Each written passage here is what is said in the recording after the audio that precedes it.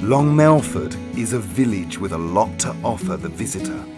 Whether you're interested in historic buildings or grand country manors with gardens, to antique warehouses, lifestyle shopping, good food or the latest fashions, there are several fine hotels, a number of excellent restaurants and cosy tea rooms. Long Melford offers a collection of shops that are the envy of East Anglia.